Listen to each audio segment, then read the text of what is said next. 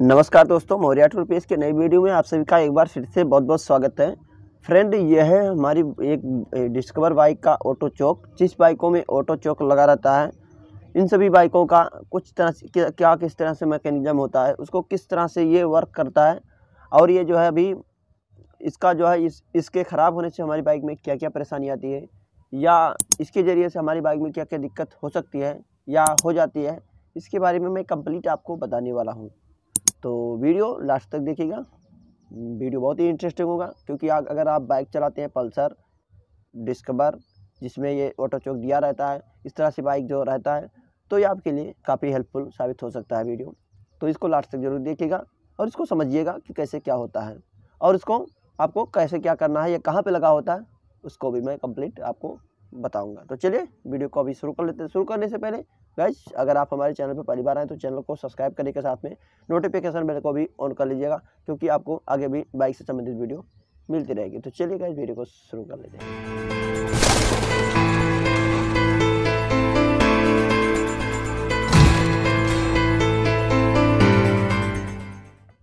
तो वैसे सबसे पहले क्या होता है कि ये लगा रहता है कार्बोरेटर के हमारे कुछ इस तरह से।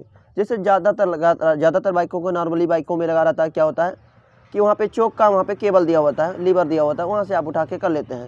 ये वो साइड से यहाँ से बंद हो जाता है। लेकिन ये क्या होता है, ये जो है, और चौक जो आपका काम करता है, ये रहता है, काम करता है कि आपका एक्स्ट्रा जो तेल थोड़ा सा भी बचता है तो इस इस रास्ते के ज़रिए से आपके यहाँ से, देख लीजिए, ये अभी पूरा डिप होता है, कुछ इस तरह से ऐसे, देख लीजिए, अभी यहाँ पे जो है यहाँ फुल है यहाँ से ऐसे डिप होता है ऐसे रहता है। तो अगर ये जब नीचे नीचे तक रहता है इसके नीचे तक यहाँ तक रहता है ये तेल तो इसके ज़रिए से क्या होता है देख लीजिए अभी इस रास्ते पे जाके बंद हो जाता है यहाँ पे होल जो दिया हुआ है इसी में जाके हो जाता है तो इस इधर से होल दिया है। तो नीचे से जितना भी तेल है थोड़ा सा भी रहेगा चौक का काम क्या होता है ये उठा के तु, तुम्हारा तेल अगर तेल ख़त्म हो गया बाय वे तो नीचे का तेल भी उठा के एक एक बूथ को उठा के वो ऊपर तक भेज सकता है बाइक को स्टार्ट कर सकता है। तो चौक का हमारा काम होता है। तो बेसिक तौर पे जो हम चौक को लगाते हैं, वो होता है कि हमारा चौक लीवर से या केबल के ज़रिए से मैं खींच के करते हैं। लेकिन क्या होता है, ये जो ऑटो चौक का सिस्टम होता है, ये पूरा इलेक्ट्रॉनिक होता है। इसका जो है, यहाँ से देख लीजिए, वायरिंग के साथ जुड़ा रहता है। ये आपका जब बाइक के ठंड के समय या जैसे भी आपकी चौक की आवश्यकता हो तो ये ऑटोमेटिक ये पहले स्पीड को ज़्यादा बढ़ाता है जब आप स्टार्ट करने के लिए करते हैं। तो यहाँ पे करंट देख लीजिए, दो पॉइंट यहाँ पे दिया हुआ है।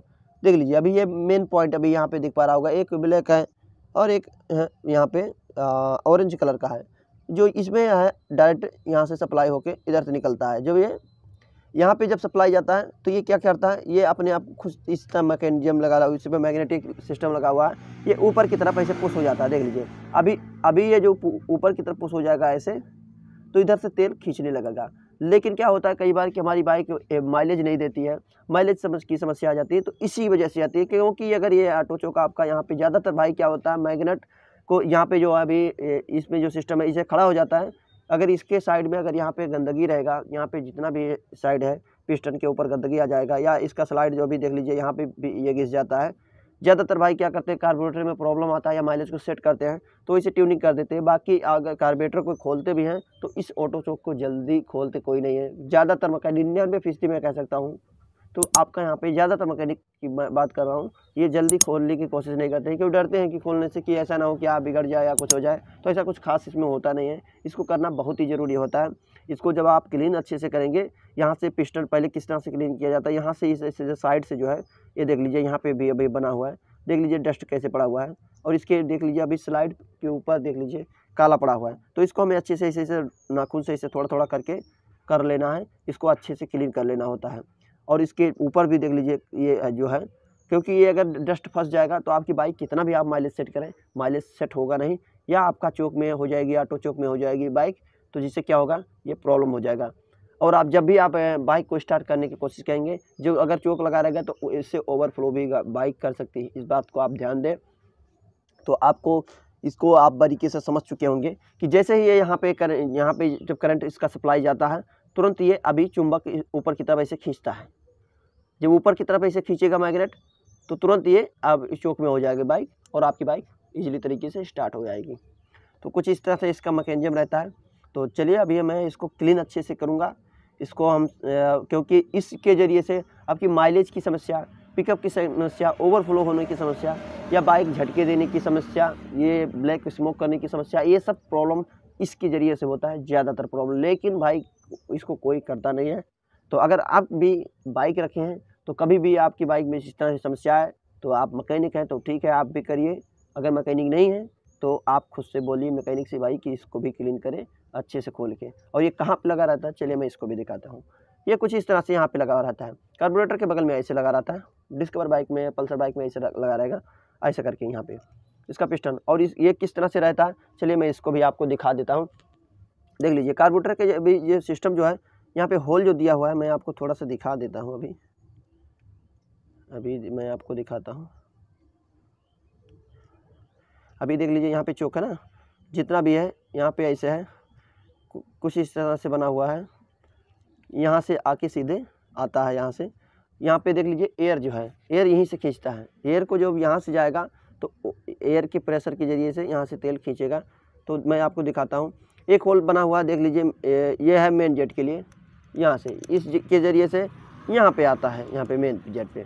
और दूसरा पतला वाला जो बना हुआ है, दो नंबर पे, ये आके यहाँ पे इसका एयर इस तरह से आता है।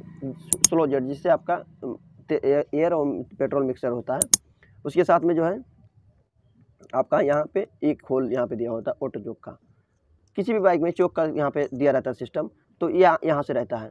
अब देख ही लीजिएगा अभी अभी मैं स्क्रू ड्राइवर को कर रहा हूँ। आपको शायद देख पा रहा हूँ। देख लीजिए अभी मैं हिला रहा हूँ। देख लीजिए आर पार है। तो इसको हमें क्लीन करना होता है। जब भी करें कार्बोरेटर को तो यहाँ से क्लीन करें। तो ये आप समझ गए होंगे कि एयर जब ये पिस्टन आपका ऊपर हो जाता है तो एयर इसके ज़रिए से पूरा खींचने लगता है। उसके और एयर के ज़रिए से आपका पेट्रोल भी ज़्यादा उठा लेता है या नीचे से जो है आपका तेल या बाइक बंद पड़ने की स्थिति में ये आपका तेल थोड़ा सा भी रहेगा तो आपका चौक ऑटोमेटिक काम कर जाता है। तो इसको आप अच्छे से समझ चुके होंगे। तो इसको इसी तरह से आपको करना है। अगर इस पार्ट के ज़रिए से आप जान लीजिए, अगर आपकी बाइक में प्रॉब्लम आती है तो इसको ज़रूर चेक करिए। इस बाइक की प्रॉब्लम होने से इसका रोल होता है। तो आई होप इस वीडियो से कुछ आपको हेल्प मिलेगा, आपको कुछ सीखने को मिला होगा। अगर वीडियो आपको पसंद आया हो तो वीडियो को लाइक शेयर करने के साथ में वीडियो को आपको चैनल को भी सब्सक्राइब कर लेना है। क्योंकि आप लोग अगर चैनल को सब्सक्राइब नहीं करते हैं और लाइक नहीं करते हैं तो जो हमारा मेहनत होता है, उसका फल हम यही चाहते हैं कि आप लोग यही करें। थोड़ा सा लाइक और शेयर कर दें और साथ में सब्सक्राइब कर लें, क्योंकि आप लोग जब सपोर्ट करेंगे, तभी मैं आपका जो है अभी और मोटिवेट आप लोगों को कर सकता हूँ आगे। क्योंकि आप लोगों के, मैं और कुछ भी नहीं चाहता हूँ, सिर्फ़ आप लोगों को छोटा सा करना उसके लिए कोई भी कॉस्ट आपको देने की ज़रूरत नहीं होती है। आपको यहाँ पर फ्री होता है, वहाँ पर सब्सक्राइब बटन दिया हुआ है, वहाँ पर सब्सक्राइब कर लें और वहाँ पर घंटी के निशान है जो अभी, वहाँ पर भी बेल को अभी आप प्रेस कर लें ऑल पे कर लें। तो चलिए वीडियो को अभी यहीं पे इंट करते हैं, मिलते हैं किसी नए टॉपिक के साथ नए वीडियो में। आई होप इसको समझ लिया होगा। तो चलिए मिलते हैं नेक्स्ट वीडियो में तब तक के लिए थैंक्स फॉर वॉचिंग